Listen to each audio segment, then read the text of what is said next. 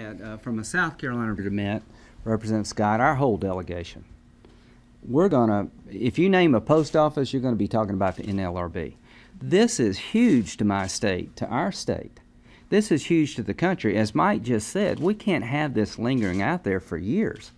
If you're about to make a business decision to expand in the United States, don't you want to know what the NLRB's authorities really are?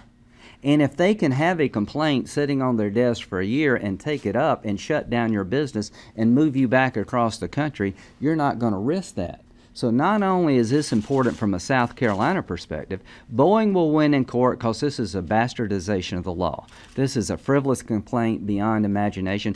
This is using the law for a political purpose, and I really do resent that.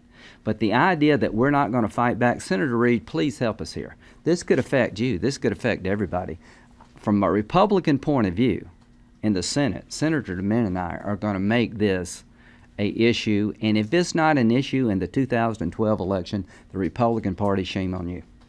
If our candidates for president are not looking that camera in the eye, not just in South Carolina, and say, I will appoint people to the National Labor Relations Board that will follow the law, and I will not use it as a way to micromanage the economy. If they don't talk about the consequences to American job creation from unelected bureaucrats having the ability to shut down a billion dollar plant, then we've made a huge mistake. So we need to take this fight to the streets and have a vote on the floor of the United States Senate. What have we been doing up here for months?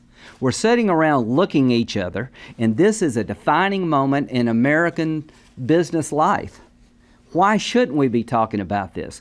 What could Harry Reid tell the American people that would justify not taking this up? Whether you agree with me or not, isn't this worth our time? Isn't this a good use of the most deliberative body in the history of the world to be talking about whether or not an unelected bureaucracy should have the power to shut down a plant that was invested by a billion dollars a year after they made the investment? If that's not worth our time, if that's not important, what the hell would be? So we're going to talk about this and we're going to try to vote, and I'd like to do it in a bipartisan fashion. Because I can tell you in South Carolina, Republicans and Democrats see this the same.